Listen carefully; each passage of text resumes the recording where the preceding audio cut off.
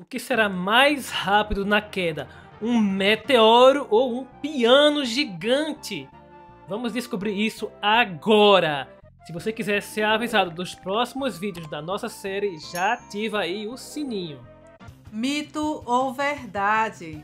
Se a Pan atacar um inimigo com o primeiro poder de estrela e um aliado pular na mola com a vida baixa por cima da área de cura, o poder de estrela vai curar.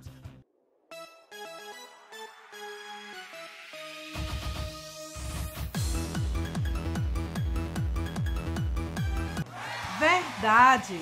Testamos esse mito com uma Pan, um Sam e um Frank no nosso mapa favorito, que é o mapa do código PCG.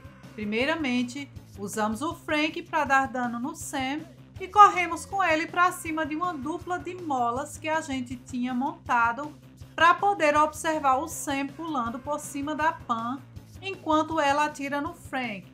Prestando bem atenção, nas horas em que ele passa por cima dela, dá para ver que sim, ele recebe os 48 pontinhos de cura para cada tiro da Pan em cima do Frank. Mito ou verdade? O acessório do El Primo e do Grey caem ao mesmo tempo no Brawler. Verdade! Com o El Primo e o Grey no Futebol, o plano era fazer o Grey atirar no El Primo e disparar o acessório do Primo exatamente na hora que o tiro do Grey batesse nele. Mas isso se mostrou bem difícil de conseguir. Então resolvemos fazer o Grey encostar numa parede e atirar e usar o meteoro do El Primo na mesma hora.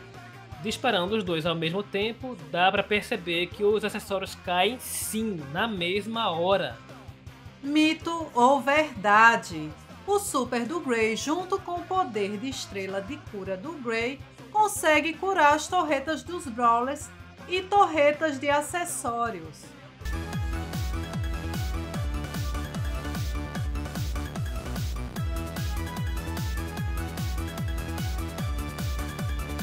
Verdade!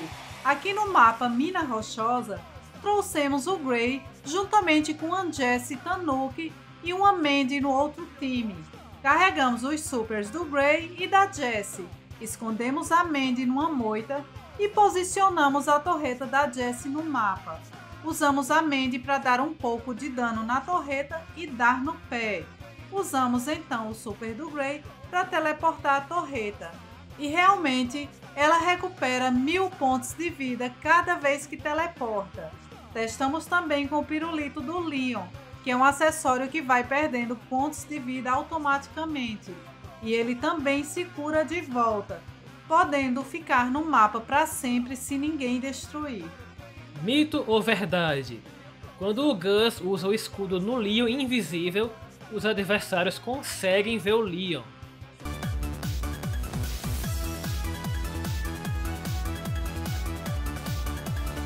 Mito! Trouxemos um Leon no outro time nesse mapa de futebol. Carregamos o super dos dois, afastamos o Leon, ativamos a invisibilidade e usamos o super do Gus para dar um escudo ao Leon. Do ponto de vista do Poco, o Leon continua totalmente invisível, mesmo com o escudo. A única hora em que ele consegue ser visto durante a invisibilidade é quando ele chega perto do Poco, onde ele ia ser visto mesmo sem o escudo.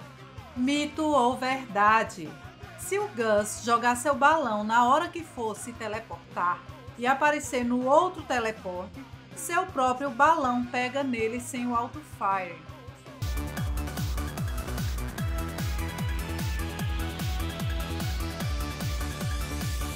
Mito. Viemos a um mapa customizado de testes com dois teleportes perto um do outro, com o Gus e uma Jack para servir como carga de super. Carregamos o super do Gus, andamos para o teleporte e na hora certa atiramos o super dele na direção onde ele ia aparecer. O Gus aparece do outro lado a tempo do tiro do super bater nele, mas nada acontece e ele não ganha o escudo assim.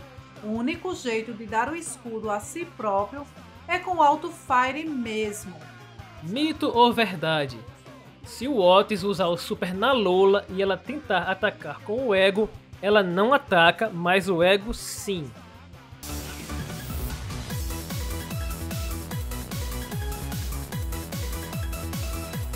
Mito. No mesmo mapa, viemos testar com a Lola e o Otis. Para isso, carregamos o super da Lola no Otis e vice-versa. Liberamos o ego da Lola e usamos o super do nela, para constatar que, quando ela está sob o efeito do super do ela não consegue atirar e assim o ego também não atira. Mas se fizermos o contrário, o resultado é diferente. Usando o super do no ego da Lola, a gente vê que ela continua podendo atacar, apenas o ego fica silenciado. Mito ou verdade? Se o Gale usar o acessório de empurrar no portal do Grey, ele não vai conseguir se teleportar para o portal onde o Gale usou o acessório.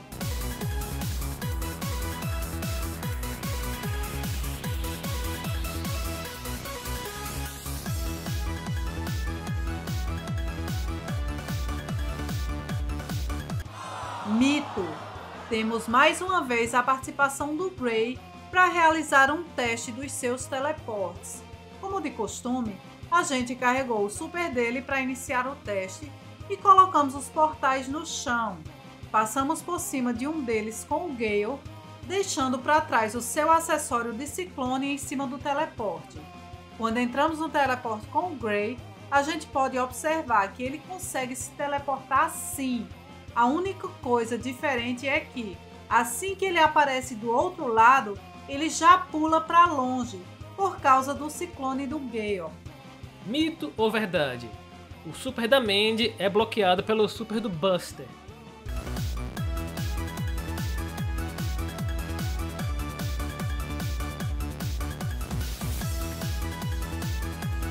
Verdade!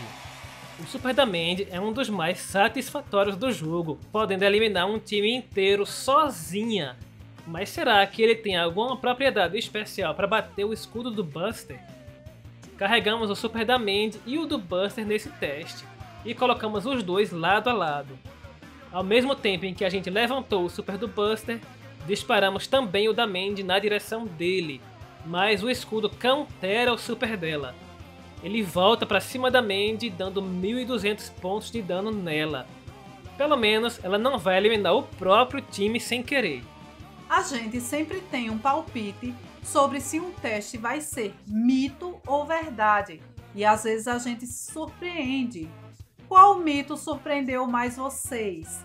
Deixem mais sugestões para a gente testar. Até a próxima!